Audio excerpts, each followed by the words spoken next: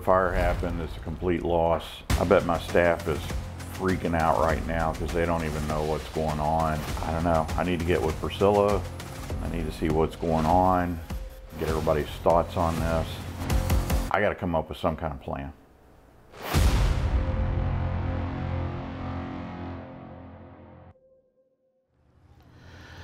Well, Priscilla, I've been thinking a lot about this and what to do. I mean, we just had the fire, everything's gone. Uh, I, I, guess first off, just let everybody know that nobody's going to be laid off. Wonderful. And we'll, uh, you know, we'll, we'll, we'll keep every, everybody, we'll work it out. I'm sure the community will kick in, you know, and help us out. Um, so yeah, we'll, we'll figure it out. It's not the first time we've been through a disaster um, so we can handle this. But, you know, what, what are some of the things that you've been thinking about doing? I mean, everything's gone. What we need to do now? What do you think? Well, morale's so low with the crew right now, and naturally so. But I think first off, we need to get the pop-up tents up. We can bring out a grill, coolers, ice the beer and uh, uh, drinks in there. Yeah. And I can set up everything with hand washing stations and everything to keep our I mean, do you think good. do you think that just letting everybody know that their jobs are still going to be here oh, will help things? Absolutely, absolutely. That's going to calm everyone down. Okay, good.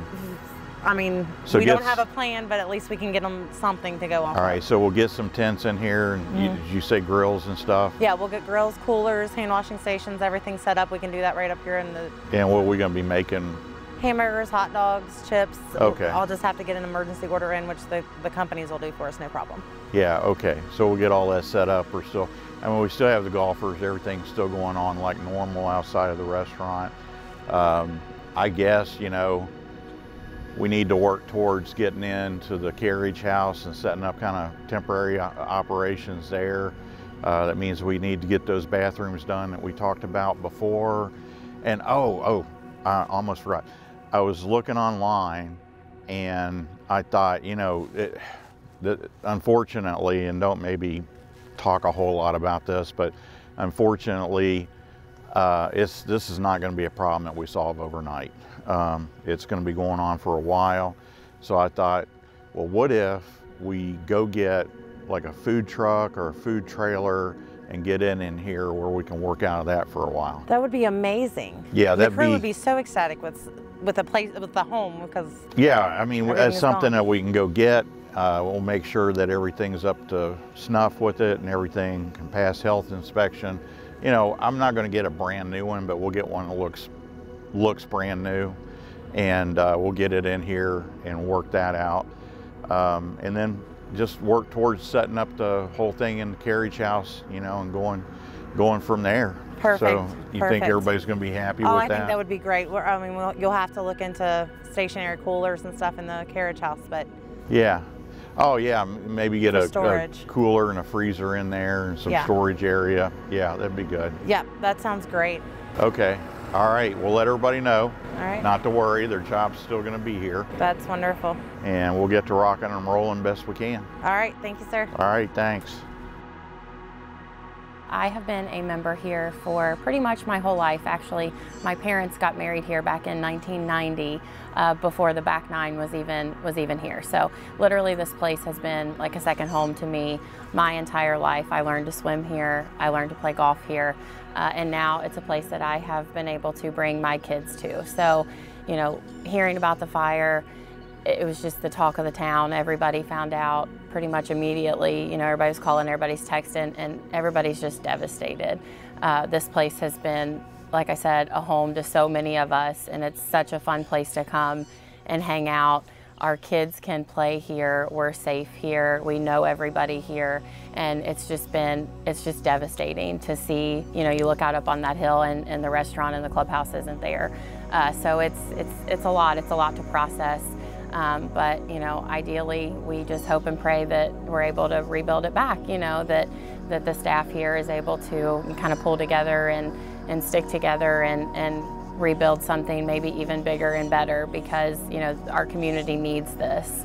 We all need a place like this, and so you know we just hope and pray that it'll come back and and hopefully it'll be a restaurant and you know the same very similar to what they had a place where you can have music and a place where it has really good food and you know our kids can come here and play and we can come and you know have drinks and eat dinner with our friends and family and yeah so hopefully we can rebuild it.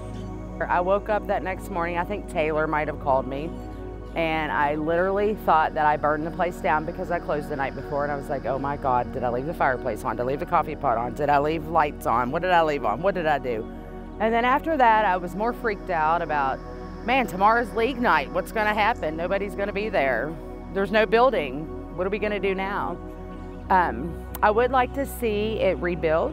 I love the way that it was. It was a lot of fun. We had a good time working there. I moved back here a few years ago and come to work here and I really, really, really love this job. So I absolutely would love to see us rebuild. I would like to have similar to what we had, but I think bigger and better would be great. Um, change the kitchen up a little bit, change the bar up a little bit, have a little more for people as far as the building wise. But I absolutely would love to see the rebuild. I've worked here for four years and the day of the fire, day after the fire, was complete disbelief. Couldn't believe, didn't believe anybody that told I talked to, I couldn't understand what they were talking about. I, I didn't believe it. I still have a hard time believing what happened and when I got here and I saw the results of what the fire had done, it was complete shock and it was unbelievable. It's, it's still very disappointing and, and heartbreaking, but you know, we've done the best we can with, with what we've got. And uh, I think we've tried to keep it pretty professional. And I think the members have appreciated what we've tried to do. And I think it's, uh, we're looking forward to the rebuild. We definitely need to rebuild. It's, uh, and we need to go bigger. Um, I think this, this place can support it. I think this area can support it. We'll have people coming from all over the country, Cincinnati, Louisville, Lexington, Maysville. People were coming to this place before uh, the fire, and now if you make it even bigger and better, we'll just draw from a lot, you know, larger area. It was a little after three in the morning on a Tuesday morning when I got the call. They couldn't get a hold of David, and there was something on fire at the hills. I ran out the door in boots and leggings, looking a mess. And I flew in here and I was just thinking, let it be anything else than that restaurant. Let it be any other building but that restaurant.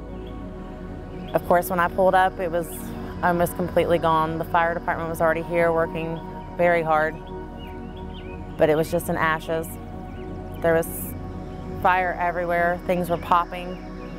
They were asking if we had any munition in the building. I was promising them that we did not, but we had aerosol cans, we had pop cans, we had CO2 containers. And they finally got a hold of David and he got here.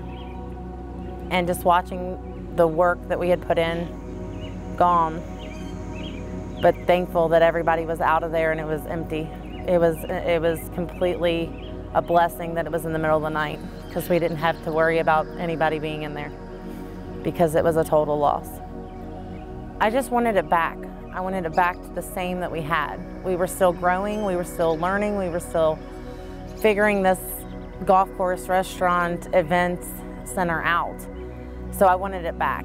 I didn't, I wouldn't have changed anything. I mean, we needed more storage, we needed clearly other things in the building, but I didn't care at that point. I just wanted it back. So I got a call from Priscilla around four o'clock in the morning, uh, saying that there was uh, a fire at the hills.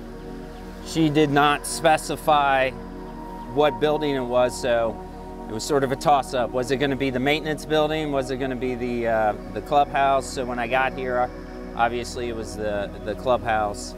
Um, sort of heartbroken at the time, but at the same time, there was nothing I could do about it, and luckily nobody was hurt. I think that was, I think that was everybody's biggest concern when we, you know, when we found out was, yeah, nobody was in the building, everybody was okay.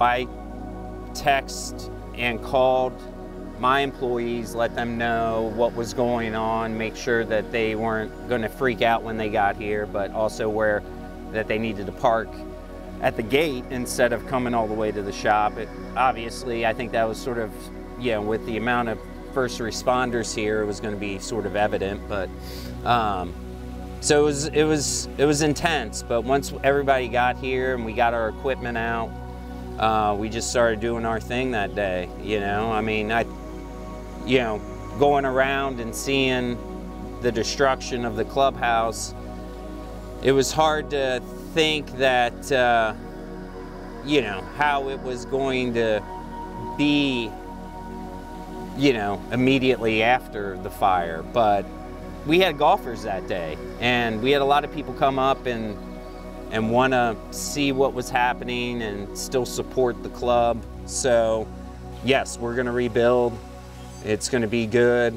Um, what exactly it is, you know, that's going to be a discussion that we're going to have to have in the future.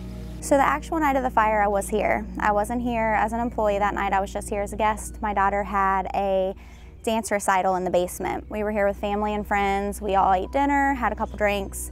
After the recital had let out, I had taken a bunch of the dance girls around on the course on the golf carts, and it was just a typical, normal Monday night. That night, I went to bed like any other night, and early in the morning, my husband was tapping me and woke me up, repeatedly saying that the hills had burnt and that it was gone.